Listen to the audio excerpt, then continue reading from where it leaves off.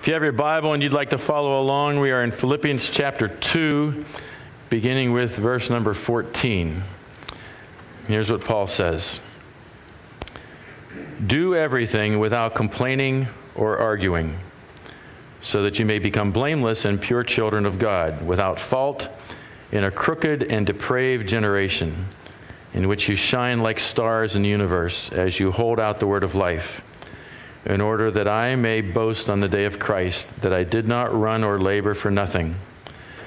But even if I'm being poured out like a drink offering on the sacrifice and service coming from your faith, I am glad and rejoice with all of you.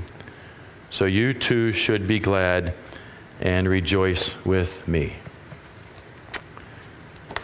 Amen. Now, in a moment, uh, we're going to be talking about one of the most important themes in the entire Bible and that is faithfulness. I think it should be the prayer uh, on all of our lips God, make me faithful.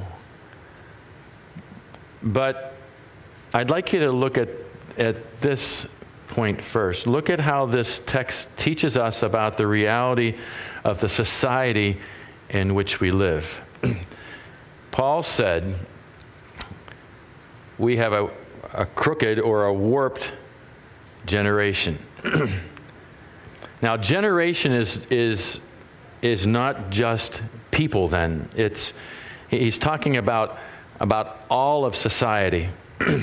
Everybody who has lived, is living, or will live. And look at the description it is a warped and crooked generation. Now, we don't have to go into the theology of the fall which takes place in Genesis chapter 3. But I do have time to tell you that, that something happened years before you were born. Theologically, it's called the fall. And its implications are numerous. Most important part is that you are not perfectible. And society is not perfectible either because something happened in a garden way before you were even born. James Dobson recounted a, uh, uh, once how his wife Shirley was a substitute teacher. Now, this is years ago. We wouldn't be able to do this today, although those of you who may be substitute teach might, well, anyways what we did with substitute teachers when I was in school, the kids still do today. I got to tell you this real quick. Some of you know this already. My, my mom um, stayed home with us kids until we were in school. And uh, she got a master's in, in teaching. Matter of fact, she was a supervisor of student teachers at IUP. Um, and I remember I was in second grade, and I must have done something bad. That was a shock, but I did something bad. And, and the teacher put me in front of the class, facing the class, right by her desk. And then she missed that day, and the substitute teacher came in to teach. And I remember this teacher standing in the hallway looking at the classroom, and it was my mom. I don't remember what happened when I got home, but I know it wasn't pretty. Now, those of you who are single or, or without kids, please realize that, that kids are not pure and kids are not innocent.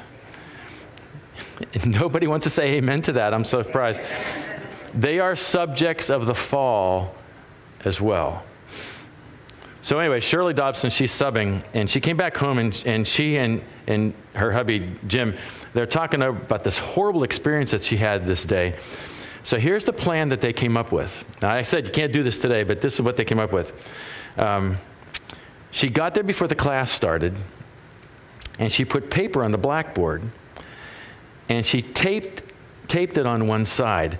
Um, and with a heavy black paintbrush, she painted on this white paper a skull and crossbones.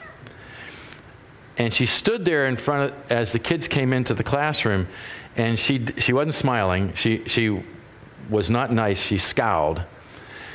and she said, Do you see the skull and crossbones on the board? Underneath is my poison list. I warn you one time, and then after the first warning, you go on my poison list, and you don't want to be on my poison list. The kids were so quiet after all of that.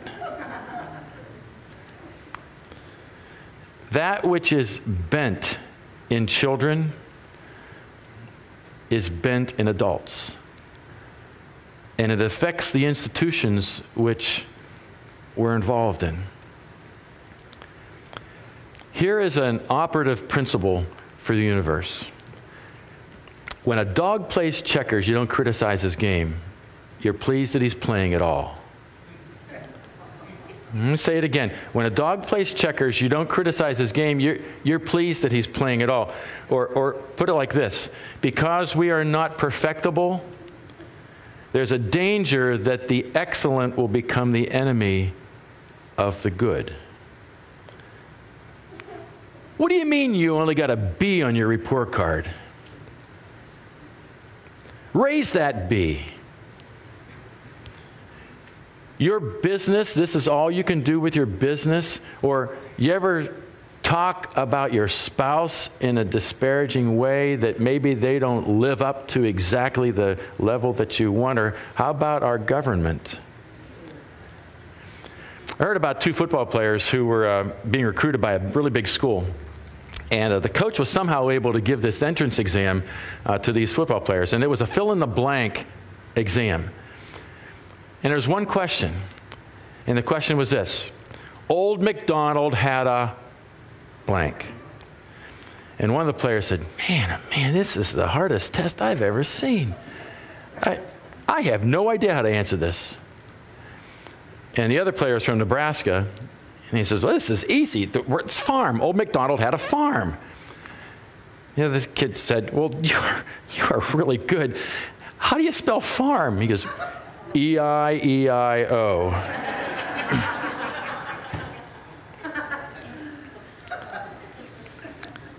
Instead of, instead of looking at your spouse, your church, your pastor, thinking how much better it could be. Think about how much worse it could be. It'll do wonders for your attitude. I do believe that we should always strive for excellence. But people get all, all bent out of shape when they won't do, well, they won't do anything because they expect perfection. And someday the Lord's going to make all things new and perfect, but until that time, remember this principle. When a dog plays checkers, you don't criticize his game, you're just pleased that he's playing it all. In 1875, there was a, a, a, group of French as well as Americans. They got together and, and they began to raise money for what is now known as the Statue of Liberty. In 1884, uh, F.A. Bartholdi who created the statue, presented it to America, and it took two years to construct. It is 152 feet high. It is an amazing grand old lady. If you've never been there, you need to go. But on top of her head, there is an amazing detail. It's amazing because in 1884, there were no airplanes. No one could see it. The man who created it was faithful. What is faithfulness? Faithfulness is being obedient to God regardless of the circumstances. It's being obedient to God when nobody is looking. And, and it's a gift of God from a God who is faithful to you. Now, there's hundreds of references in Scripture about being faithful. Let me share with you just a few. Love the Lord, all his faithful people. Psalm 31, verse 23. Proverbs 20, verse 6. Many claim to have unfailing love, but a faithful person who can find? Who then is the faithful and wise servant whom the master has put in charge of the servants in his household to give them their food at a proper time? It'll be good for that servant whose master finds him doing so when he returns. Truly, I tell you, he will put him in charge of all his possessions. That's in Matthew chapter 24.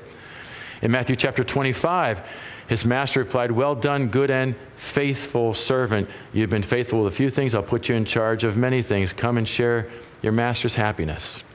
Paul, an apostle of Christ Jesus, by the will of God, to God's holy people in Ephesus, the faithful in Christ Jesus.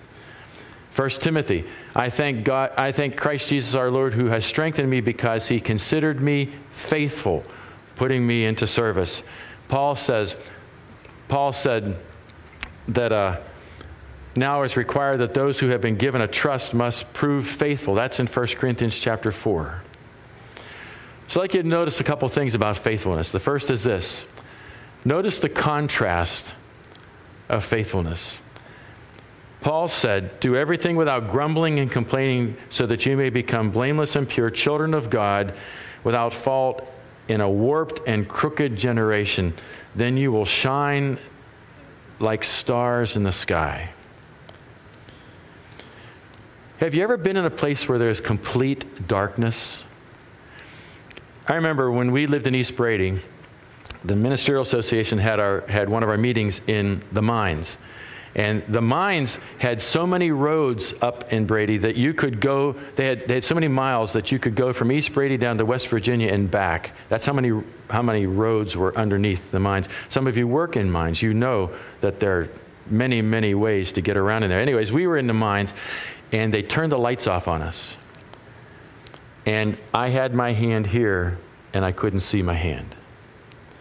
It was utter blackness. I remember when we went out to Carlsbad Caverns and they turned the lights out. You couldn't see your hand. And yet, there were people who had been stuck, or, who were trying to find the paths originally, trying to see what Carlsbad Caverns were like. And they, they didn't have lights at times. They had to find their way without lights. It's, a, it's amazing how dark actually things can be. But a match was lit, and the whole place was bright. Here's another principle even in the darkness, a little light will do. Think of it like this we say, well, the stars came out. That's not true. They're already out it just got dark enough for you to see them. Jesus said, We are the light of the world. Wow, you, you wouldn't believe the language that I hear at work, you might say. Well, that's good because it gets dark and even a little light will shine. You wouldn't believe the things I hear on the job. Good. It gets dark. Even a little light will shine. When I go to the gym, you wouldn't believe the language I hear at the gym. Good. Even a little light will shine. Secondly, note the gift of faithfulness. Paul said, as you hold firmly to the word of life.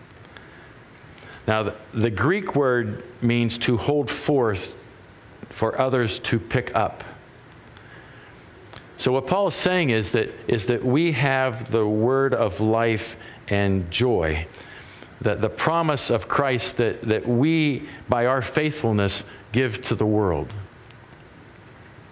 You're faithful not because you're nice or it makes you feel good. You're faithful for them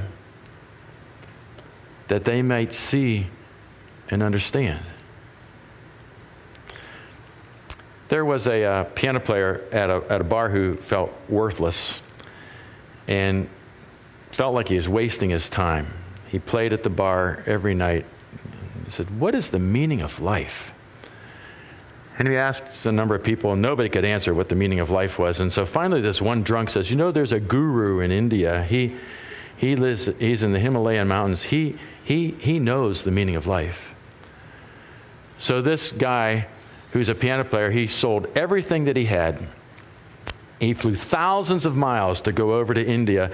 He took he rode a train 700 miles to get to the Himalayas, and then he rode 400 miles up the top of the mountains. Freezing cold. He, he took months to, to get there and do all sorts of things. And he goes to India and he, he gets up to this small little hut, and there's this grizzled old man sitting in the middle of this, of this hut. And he says, What's the meaning of life? And the old man says, Really? He says, What? What's the meaning of life? Is this all that there is? And there has to be more. And the grizzled old man says, The meaning of life, life is a fountain. Isn't it? Isn't it? That's all. That's so much the way the world is. Remember all the promises with your success, they didn't deliver. Empty promises. We tell the world that we offer the meaning of life. And we have one person who makes promises and delivers those promises absolutely. His name is Jesus. You want to live forever? He promises. You want to know joy? He promises. You want to know forgiveness? He promises. Third, note the reward of faithfulness. Paul says, As you hold firmly to the word of life, and then I'll be able to boast on the day of Christ that I didn't run or labor in vain. I was reading about how you train German shepherds. I've never had German Shepherds. The only dogs we've ever had uh, were, were Border Collies. But we, I, was reading about how you train German Shepherds. And the police trainer said you don't, you don't give a German Shepherd a treat when they do something good, and you don't hit them when they do something bad. You just pat them on the head and you say, I, I really appreciate you. You're a good dog. And if he loves you, that's enough. the longer I follow Jesus,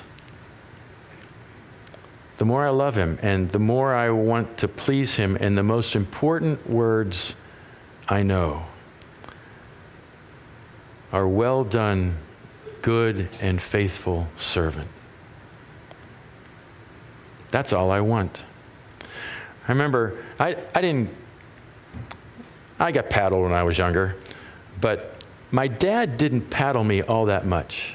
Usually it was my mom. She usually broke the wooden stick over, wooden spoon over me. That's another story. Anyways, I didn't get paddled by my dad very much, but what my dad would do, he would say, I'm, I'm so disappointed. Please spank me. I didn't want to disappoint my dad. And I don't want to disappoint my Jesus. I want to hear, well done, good and faithful servant. Fourth thing, please note the sacrifice of faithfulness. Paul said, But even if I'm being poured out like a drink offering on the sacrifice and service coming from your faith, I, will, I am glad and rejoice with all of you. If you're faithful, everyone will like you and you'll get rich and, and you're going to be healthy wrong. And yet, here's Paul. He's in jail, and he could die. We are called to be faithful when no one's looking. And when, when you're between a rock and a hard place, sometimes faithfulness leads to sacrifice. And then please note this last point. Note the pleasure of faithfulness. Paul says, I am glad and rejoice with all of you, so you too should be glad and rejoice with me. Now, how? How in the world can that happen? Because he's in jail and maybe he's going to die, and yet he says, Whoopee! How, how, can that, how can that be? This is exactly what Paul is teaching his dear people in Philippi that faithfulness brings joy that you will never know any other way. I spoke to a colleague of mine at conference this year that that had caused me great pain and was instrumental in us moving here. Was done wrong. And in years past, I have seen this colleague of mine and never said anything to this colleague, but whenever I would see, I would kind of walk the other way so that I wouldn't, I wouldn't say something I would regret. But I found out some stuff that had been done to him in a way that was just wrong. And so we were walking out of the last session together, and I saw him, and I thought, you know what? I, I need to say something. So I walked up and I said, you know, I, I, am, I want to let you know that I, I'm sorry. I heard what happened to you, and I'm sorry that that happened. I want you to know that I'm praying for you. And he was surprised, and I stuck out my hand and I shook his hand, and I said, I, am just really sorry. And uh, I hope you're going to do okay. And I walked away and I thought, I feel really good. And I got to thinking, you know what? My wife would have done that two weeks after we found out something was wrong. It took me 15 years. But I did it. I was faithful in that instance because Jesus would want me to be that way. We get blessed also when we see faithfulness in our brothers and our sisters. Paul said, Look at me and rejoice with me. So I, I, want to be faithful so that you can rejoice, and I want you to be faithful so that I can rejoice. God has designed the church that way. King Henry III of Bavaria in the 11th century was really very, very religious. And he forgave all of his enemies, and he finally got tired of being king. And so he made application to, to Prior Richard at a monastery. He, he wanted to be a part of the monastery. He, he asked, could he be accepted as a contemplative? And so Prior Richard said to him, You know, the pledge here is obedience. And King Henry III said, I, I will be obedient. And so Prior Richard said, Well, if you will be obedient, here, I will tell you what to do. You go back to your throne and you serve faithfully in the place where God has put you.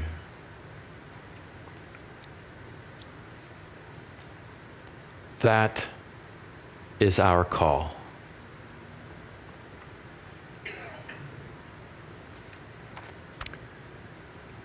Let's pray.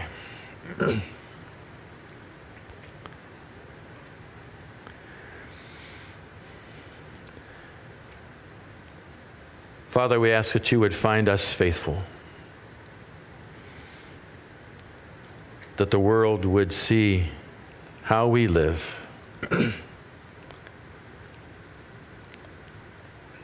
that we might live in such a way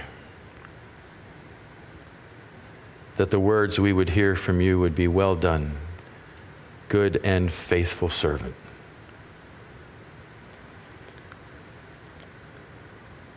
This we ask in Jesus' name. Amen. Do you stand for the benediction?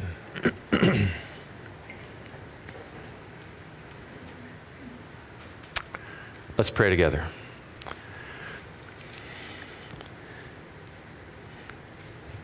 May you leave this place realizing that we are not perfect, but you, but, but you are Lord.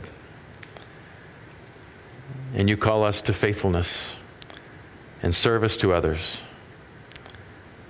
And may we be faithful in a way that honors you, that we might serve you and one another. For it's in Jesus' name we pray. Amen. See you next week.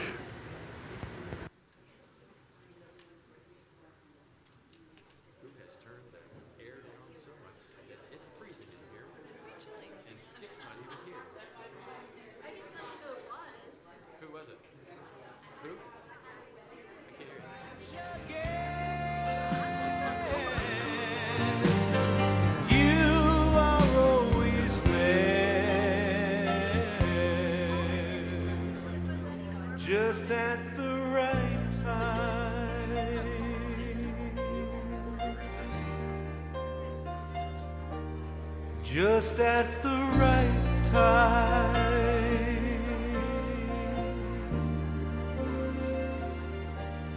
Just at.